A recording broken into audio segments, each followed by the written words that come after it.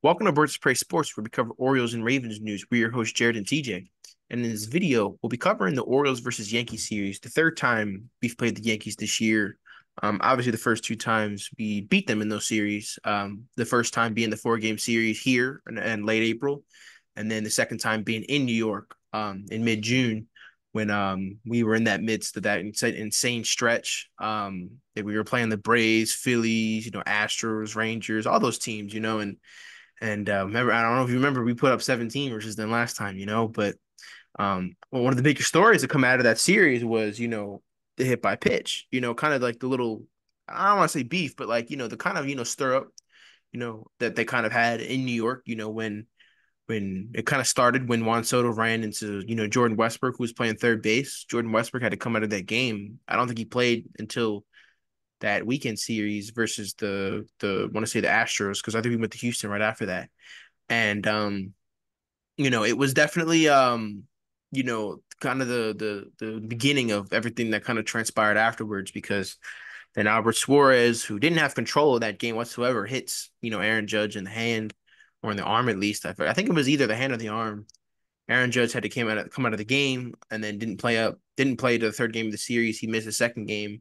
Um, and then it kind of you know spir- spiraled into you know game two of the series. You know when Gunnar Henderson gets hit in the in the in the arm, you know by Nestor Cortes. Funny enough, that wound up being the game-winning run. You know that's that Henderson scored. You know, so that kind of backfired on him.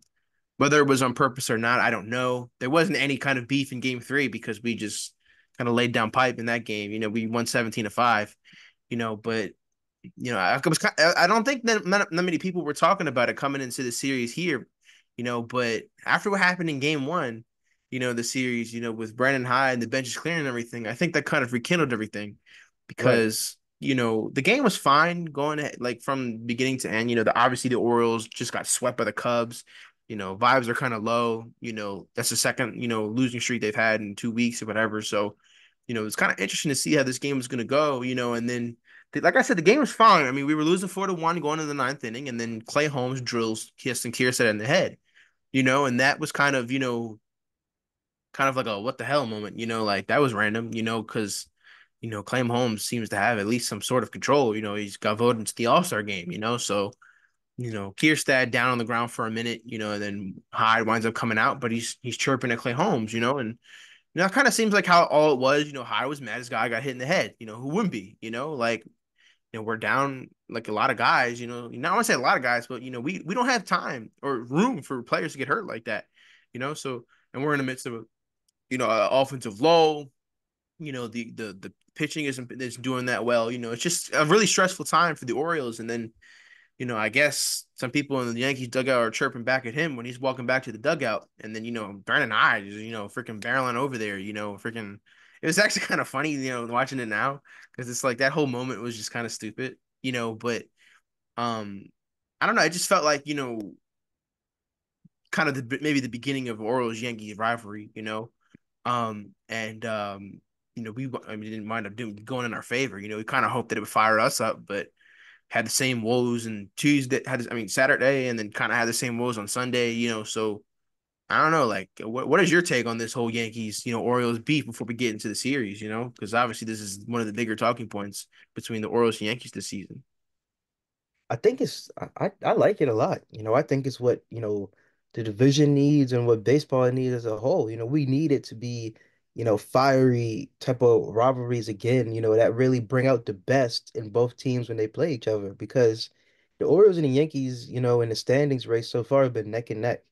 You know, both teams have been kind of been kind of mediocre, you know, the past couple months. You know, I'm not gonna lie. And you know, but just the just the past few weeks. I wouldn't say months. Well, it they we have been kind of trash the past month, but um, you know, the Yankees too. So we've kind of been both teams kind of been struggling. You know, you can't deny that. But overall, I feel like this kind of rivalry is what baseball needs, and and I like it a lot. You know, and maybe it was just kind of for that, you know, for that one game because we were kind of going through a lull, like how you said. But overall, I like it a lot. You know, I think baseball and sports in general need some type of fire and spice to it.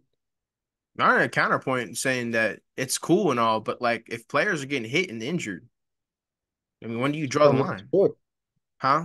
That's what comes with the sport, man. It happens in baseball. No, no I'm not saying like obviously, you know, I'm playing when like if your player gets hit by a ball, you know, like a hit by a pitch, whatever, that's one thing. But if it's on purpose, that's a whole different thing. Because now we're talking about players getting possibly hit in the head. That shouldn't come with the sport. You know, that that's just I think that's cheap, you know, because I wouldn't see, you know, Adley or Hyde or McCann, whatever, saying like, oh, we're gonna draw Aaron Judge in the head. Now I can't see the same for the other side. You know, but we obviously rivalries are fun and they're cool and all, but like when you're talking about, you know, players getting hurt like purposely, not like by accident. Like it's one thing it's by accident, but they are talking about, you know, deliberately throwing 90 something miles an hour at someone's head. That's when it's just like it's gotten too far, in my opinion. You know? So I mean, like I said, it's one thing chirping and yelling or, you know, benches clearing or whatever, you know, and you know, just back and forth bat flips on home runs or whatever, or taking your time to get the first place, you know, screaming your freaking heart out when you strike out Aaron Judge. I don't know what it is. That's cool. You know, the rivalry's fun. You know, it's it's Ed. You know, it's freaking neck and neck, like you said, division wise. But when you're talking about throwing at guys, I mean, these can, those basically can kill somebody. You know, so like that's when it's like getting a little ridiculous. You know, because like I said, I don't think the Orioles are in that business to throwing at guys. But like I said, I can't speak for the other clubhouse over there. You know, the Yankees clubhouse. So like I agree with what you said that it's good for baseball, but like like I said, but when it gets to that point, it's like that's just getting ridiculous, you know, because I mean the Kjerstad got put in the IL after that, you know, because of concussion systems. Like that's not good for baseball, you know, that type of pettiness, you know. That's I mean, what do you think? I mean, you know, of course, it's not good for baseball. It's not good, you know, for both teams having, you know, players get, you know, their lives in danger. I mean, we saw what happened to Alex Cobb and other pictures like that. Oh, hold on, bro. How would you bring him up, you fucking idiot? I said, all right, all right. You know, of course, it's not good for baseball. You know, we saw what happened to other players who's gotten hit, but um, yeah, again, you know, that's how I just see it. You know, the good and the bad. You know, teams there have been in the past teams have intentionally hit players, so that's just in my opinion how I see it. You know, the good and the bad comes with a rivalry. Um, you know, you can say the same for this if it turns out to be that way you know, but we'll see in the future. So yeah, that's just how I see it.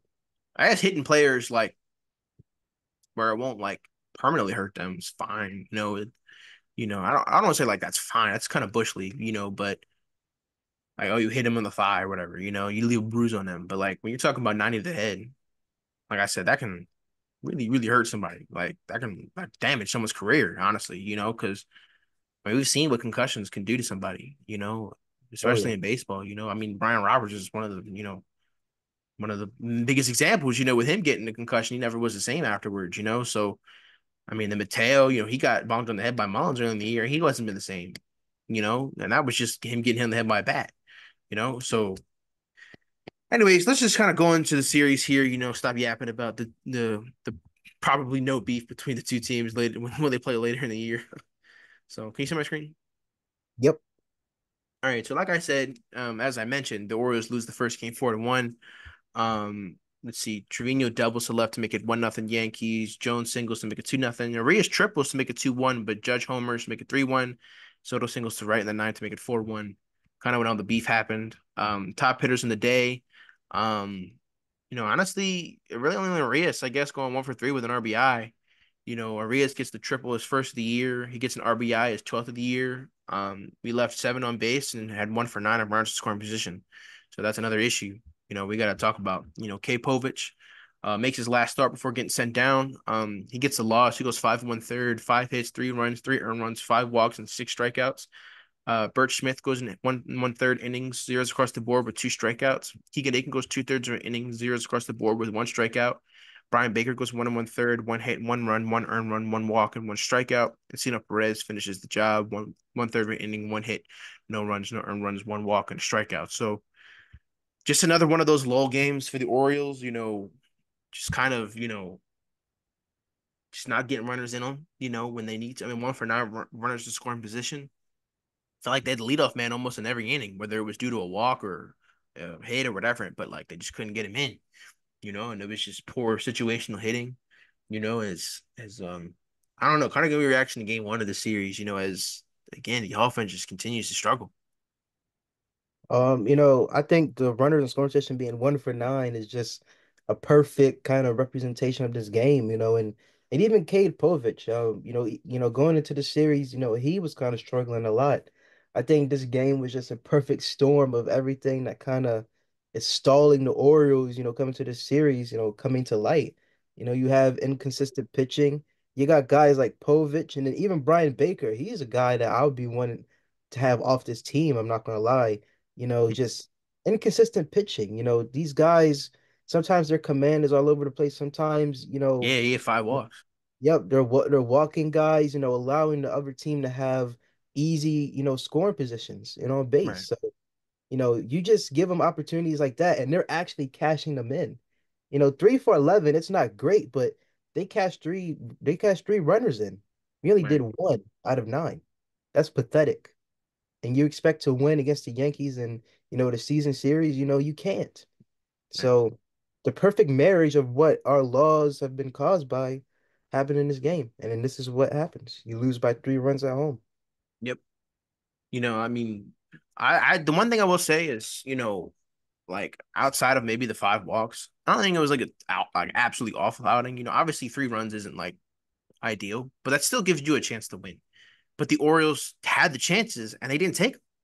You know, that's the issue here is like the offense. I mean, runners going position. How many times have me and you talked about this in the videos saying it's one for nine, one for 10, oh for whatever? Like, I think we have to mention this every video. And how many times did I say is it's not a problem now because we won, because we hit three or four home runs. But now we're not hitting home runs. Runners aren't scoring because we can't drive them in. And I it mentioned it's gonna not be a problem until it's gonna be a problem, you know, which is now, which is these losing streaks, you know. So very very frustrating offensively lately, you know, especially in July, and it doesn't get any better. I mean, this is we're filming this later in the month, so I mean, it doesn't get any better after that. So you know, after the shenanigans that happened on Friday, you kind of hope the Orioles would come out fired up, but nope, they don't. They actually go down four nothing in the first inning after Torres reaches on an infield single and Wells hits a three run shot. Uh, we get one back in the fourth. Mountcastle grounds to shortstop to make it four to one, but then Soto homers and then Judge homers to make it five and six to one. Our top hitters in the day, um, I mean, I guess Cowser he goes two for four. Um, Mountcastle goes one for four with an RBI, but again, just like not a lot of guys producing here. You know, Hearn gets a triple, his second on the year. Mountcastle gets an RBI, his 43rd. We left six on base. I'm 0 for 5. Runners scoring position. So again, Orioles not cashing in opportunities. Anyways, Rodriguez goes five innings, eight hits, six runs, six earned runs, one walk, seven strikeouts, and three home runs given up. So just not a great outing from Rodriguez. He gets the loss. He's 11 and four in the year. Jacob Webb goes two thirds of inning, no hits, no runs, no earned runs, one walk, and no strikeouts. Keegan Akin goes one and one third, uh, one hit, no runs, no earned runs, one walk, and three strikeouts. And uh, I think it's like Vinny Tolley or something like that. I forgot his first name, but he goes two innings, one hit, no runs, no earned runs, no walks, and two strikeouts. It's a good outing for him in the Orioles debut. I mean, Grayson didn't pitch good at all. You know, I mean, with the eight, six runs given up, you know, didn't seem to have a put away pitch. Got got to oh, got to two strikes a lot, but just couldn't put the guys away. And that allowed for you know the Yankees to get in the count or whatever and get the hit get get into a hitter's count. You know, so I mean, kind of giving your action in game two is you know you kind of hope the Orioles came out fired up, but they only come out and score a measly one run again. Um, you know, it was disappointing, and it's kind of similar to game one. You know, uh, the only difference is that you know the Yankees scored two more runs. Right. Um, you know, you have again inconsistent and bad pitching from your starter. Uh, we're 0 for 5 uh, with runners in scoring position. That's that's like a big problem. For one, we didn't even give ourselves a lot of scoring opportunities. We only gave ourselves five scoring opportunities. Couldn't at least get one of those. Mm, Um, you know, the Yankees again, they they themselves didn't do that good, but they at least did enough to score, you know, two of those opportunities. So, I mean, our bats are just really just not there. right. And it sucks to lose like this at home. You know, as of this game, we were 29 and 22 at home. That's unacceptable in my eyes. Yeah. And you're seven games from being 500 at home. You know, it, it shouldn't be like that. And, you know, only scoring two runs combined total um in the series, you know, as far um at the second game mark, it's it's just bad, man. It's bad. It really is. And I don't know, our hitting coaches need to be in question. Our pitching coaches need to be in question. Not, maybe the whole coaching staff needs to be in question because Hmm. it's just pathetic. Yeah, you know, um, incredibly frustrating. I mean, that's the problem with having a boomer bust team is that when it's bad, it's like really rough to watch, you know? So, um, I don't know, just incredibly frustrating game.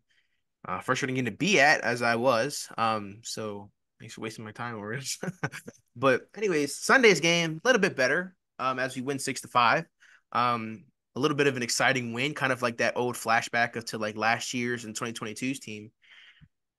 I don't know why they freaking why is ESPN showing me this? what is ESPN trying to tell me to lose weight? Like, anyways, um, the Yankees get the scoring early in the second inning. Grisham singles to right to make it one nothing Orioles. Henderson hits a two run shot. McCann scores, make it two to one. Grisham had the game of his life. Apparently, he hits a home run to make it two to two. Orioles uh, tie the game at two. Uh, Santander hits a bomb to right field to make it three to two. It's three to two for most of the game until uh, Rice hits a three run shot off Craig Kimbrel to make it five three. The Ma- mounting grounds to a fielder's choice, which Volpe bobbled to make it five four, and then Mullins doubles doubles to left to scores two that walks off the game, as Verdugo doesn't know how to field in left field apparently. Um, and Yankees fans are very happy about that. Um, so we win this game six to five. Our, our top hitters in the day. Um, Henderson goes one for five with two RBIs, a home run, and a run scored, but does strike out three times. Mountcast, I mean, I'm sorry, Santander goes two for four with an RBI, a home run, and a run scored. Mullins gets his one pinch in opportunity. He goes one for one with two RBIs. Um, Mateo goes two for three. Has a good day. Um, Stowers comes in pinch hit, goes one for one. So good, good, on the Orioles. Um, for pulling this one out. You know, even though they should have had it, even though Kimber almost blew it. Um, but anyways, Mullins doubles to center. Um, uh, Mullins gets a double, his tenth in the year. Santander gets a triple, his second of the year. Santander hits a home run, his twenty fourth. Henderson hits his twenty eighth in the year, right before the home run derby. Mountcastle gets his 43rd RBI. Mullins gets his 30 and 31st. Santander gets his 58th. And, and Henderson gets his 62nd and 63rd. Left eight on base, one for eight runners in scoring position. Luckily, that one was the game that that one was the uh, the game winning run. So again, cannot cash in opportunities. Annoying. Um, but anyways, Dean Kremer goes four and two thirds, four hits, two runs, two runs, two walks, four strikeouts, and a home run given up. Jacob Webb goes to inning zeros across the board with one walk and a strikeout. Cionel Perez goes to inning one hit, no runs, no earned runs, and two strikeouts. Yennier Cano goes one and one third, one hit, no runs, no earned runs, one walk, and no strikeouts. Craig Kimbrel gets the win. He's six and two, but he also gets his fifth blown save. Um, he goes to inning one hit, three runs, three earned runs, two walks, one strikeout, and a home run given up. So, um, Kimbrel did his best job to lose it. Unfortunately, gets the win in the process. So, kind of give me a reaction to Game Three and the final game of the first half. Um, I thought you were gonna say some more there. I um, wanted to, but I um, like I had like a brain fart, so I was just like, hopefully you just start talking. oh.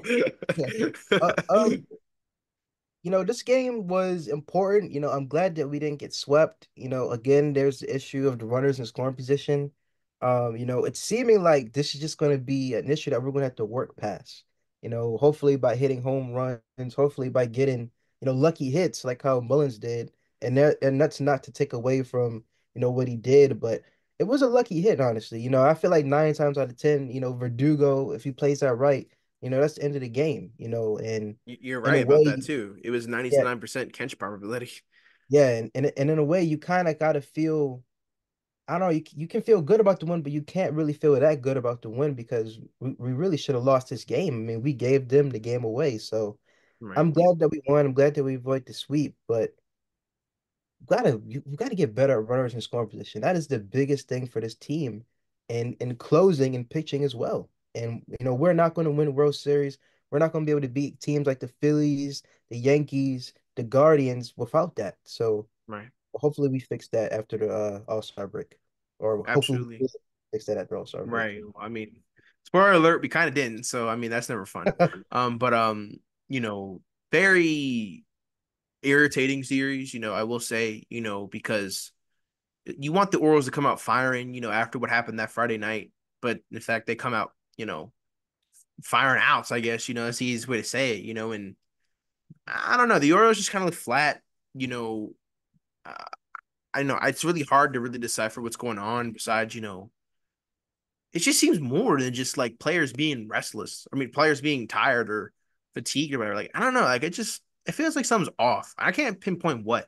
And we're in the late stages of July right now. We're past the All-Star break and everything. And something still feels wrong. Like, I can't pinpoint what, but I guess we're just to really have to decipher that, you know, when we get into the later series. Um, you know, as you know, we've made some trades in the process as well. Got some pitchers, let go of somebody. We'll get into that when you know we get to those series, whatever. But there's still something off with the Orioles, and it's just I don't know if it's because we're playing NL teams and we just can't play NL teams for some reason, which is unfortunate since that's who we got to play in the World Series if we make it. So I don't know, like we'll, we'll kind of get into that in later videos or whatever, you know, and then talk about guys who need to step up, guys who probably need to be traded, all that stuff, you know. So but anyways, that'll be our, our breakdown of the Orioles versus Yankees series. Don't forget to like, subscribe, and share. Share on TikTok, Instagram, wherever you can. All our social media links will be down in the description below. Don't forget to check out our second channel, Casual Cinema, where we review movies from our casual perspective. Um, we're gonna have a few uh, movie reviews coming out there as me and TJ went to the movies last week, saw two movies, Twisters and Deadpool three. So finally getting some new content on there as we never really do. so you know, he see TJ's happy about it. He's excited. Eat some churros. Um, I was doing, anyway. the, I was doing the, uh, the Rick Ross. oh, you reminded me of that Charles Barkley video when he was like eating the churros. I don't know if you remember what I'm talking about. anyways, um, so yeah, don't forget, like I said, don't forget to like, subscribe, and share. Um, also don't check, don't forget, don't forget to check out our Twitter where we do live game updates as I like combine all the words together. um, don't forget to check out our TikTok as well as you know we post like in-game clips or whatever, and also our Instagram where we post lineup and final posts for the Orioles and Ravens. And uh, we're Birds of Prey Sports, and we're out. Bro.